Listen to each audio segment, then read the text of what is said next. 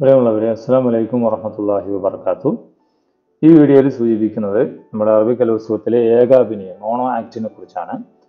അതിനെക്കുറിച്ച് നമ്മുടെ കലോത്സവ മാനുവലിൽ പറയുന്നത് അതായത് എവിടെ ആകെ സൂചന ഇത് മാത്രമേ ഉള്ളൂ. ആ മോണോ ആക്ട് എന്ന് പറഞ്ഞാൽ ഏകാഭിനയം. നമ്മളൊരു കാര്യം ഒരു സംഭവം അവതരിപ്പിക്കുന്നു. അത് അതിലെല്ലാ കഥാപാത്രങ്ങളും ഒരാൾ തന്നെയാണ് അഭിനയിച്ച് കാണിക്കേണ്ടത്. അതിൽ ആക്ഷേപകരമായ പരാമർശങ്ങൾ ഒഴിവാക്കേണ്ടതാണ് എന്ന് മാത്രമാണ് ഇതിൽ ഒരു നിബന്ധനയായി പറഞ്ഞിട്ടുള്ളത്. അതിന്റെ മൂല്യനിർണയ ടേംസുകൾ ആശയ സ്ഫുടത പറയുന്ന കാര്യങ്ങളിൽ സ്ഫുടമായി പറയാം. ഭാവാഭിനയം ഉണ്ടാകണം. സംഭാഷണ രൂപത്തിലാണ് അതിങ്ങനെ അവതരിപ്പിക്കുന്നത്. അതുപോലെ പാത്രവൽക്കരണം. കഥാപാത്രത്തെ അങ്ങനെ തന്നെ നമ്മൾ അഭിനയിച്ച് ആളുകളെ എന്താണ് ബോധ്യപ്പെടുത്തണം.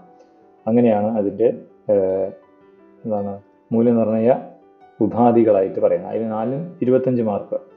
ഇനി ഡീറ്റെയിൽ ആയിട്ട് നോക്കുകയാണെങ്കിൽ മത്സരം സമയം അഞ്ച് minute U P H S വിഭാഗങ്ങൾ ഈ മത്സരം നടത്തപ്പെടുന്നത്. യു പി യു പിയിലും ഹൈസ്കൂളിലും മാത്രമാണ് ഈ മത്സരങ്ങൾ നടക്കുന്നത്.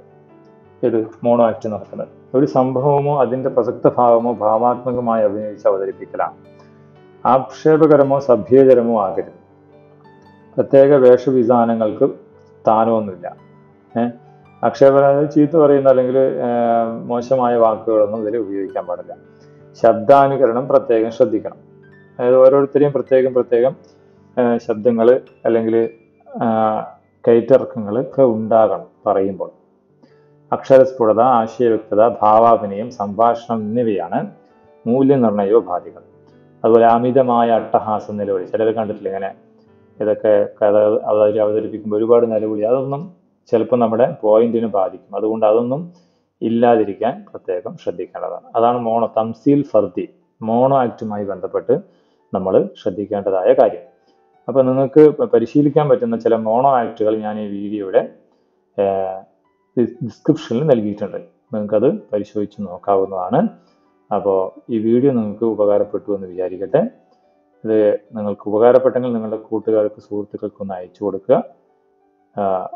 നിങ്ങൾ ചാനൽ ആദ്യമായിട്ടാണ് വരുന്നത്. ചാനൽ സബ്സ്ക്രൈബ് ചെയ്യാനും മറക്കാതിരിക്കാം അപ്പോൾ അടുത്ത വീഡിയോയിൽ വീണ്ടും കാണാം. അതുവരെ എല്ലാവർക്കും അസ്സാം വലൈക്കും വാഹമത്തുള്ള